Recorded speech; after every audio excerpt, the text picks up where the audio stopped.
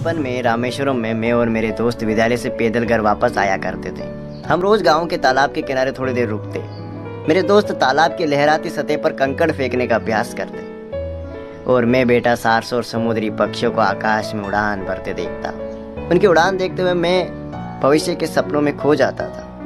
जैसे जैसे मैं बड़ा हुआ, मुझे अपना लक्ष्य स्पष्ट दिखाई देने लगा। एक चीज़ और मेरी समझ में आ गई थी कि मेरी समझ में आ गया था कि अपने सपने सच करने के लिए मुझे इंजीनियरिंग की पढ़ाई करनी होगी। मद्रास इंस्टीट्यूट ऑफ़ टेक्नोलॉजी तकनीकी अध्ययन के लिए दक्षिण भारत का सबसे अच्छा संस्थान था। मैंने बड़ी मेहनत से पढ़ाई करके स्कॉलरशिप हासिल की थी, ताकि मैं इस संस्थान में पढ़ सकूँ। उस दिन मुझे अपना लक्ष्य और भी साफ़ दिखाई देने लगा, जब मैंने एमआईटी में कदम रखा। एमआईटी के परिसर में दो बड़े विमान प्रदर्शन के लिए रखे गए थे।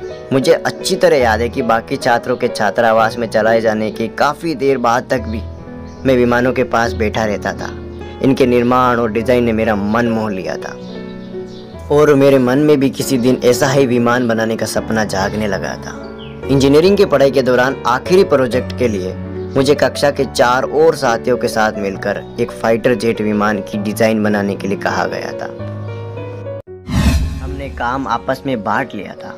लेकिन एक दिन मेरे काम की प्रगति की जानकारी लेने के बाद हमारे अध्यापक ने मुझसे कहा, अब्दुल, मैं तुम्हारी कार्य योजना से सचमुच निराश हुआ हूँ। मैंने तुमसे कहीं बेहतर काम की अपेक्षा की थी मैंने उन्हें कई कारण बताए, लेकिन उन्होंने मेरी एक ना सुनी। आखिर मैंने विनती की, सर, मुझे एक महीने का समय दीजिए। मुझे विश्वास है कि मैं बेहतर डिज़ाइन बना लूँगा। उन्होंने मुझ पर नज़र डाली और बोले, देखो नौजवान, मैं तुम्हें तीन दिन दे रहा हूँ। अगर सोमवार की सुबह तुमने मुझे इससे बेहतर डिज़ाइन नहीं दिखाया तो शायद तुम्हें अपनी स्कॉलरशिप से हाथ धोना पड़ेगा। मैं स्तंभ रह गया मेरा भविष्य मेरे सपने स्कॉलरशिप पर टिके हुए थे। उसके बिना तो मैं कुछ नहीं कर पाता। मेरे पास डटकर काम करने के अलावा कोई चारा नहीं था। उस रात मैंने पलक तक नहीं झपकाई। अगली सुबह बस घंटा भर आराम किया, जरा सा कुछ मुँह में डाला और फिर काम में जुट गया। रविवार की सुबह मैं काम खत्म कर ही रहा था कि अचानक मुझे लगा जिसे मेरे पीछे कोई खड़ा है। मुड़ कर देखा तो पाया मेरे अध्यापक जी मेरी ड्राइंग को बड़े ध्यान से देख रहे थे।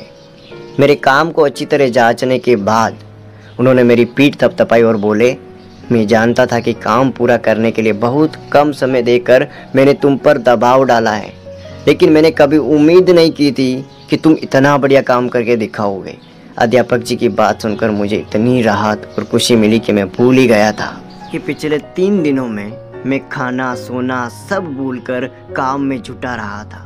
न सिर्फ़ मेरी स्कॉलरशिप जारी रही बल्कि मद्रास इंस्टीट्यूट ऑफ़ टेक्नोलॉजी की परीक्षा भी मैंने बहुत अच्छे अंकों से पास की। मैं विमान का डिज़ाइन बनाने का अपना लक्ष्य पाने में सफल रहा था और अब और विमान उड़ाने के अपने सपने के भी बहुत करीब आ गया था। मैं सोच कर ही उल्लास से भर उठता था कि बचपन में देखे समुद्री पक्षियों की तरह मैं भी जल्दी आकाश में उड़ान भर पाऊँगा।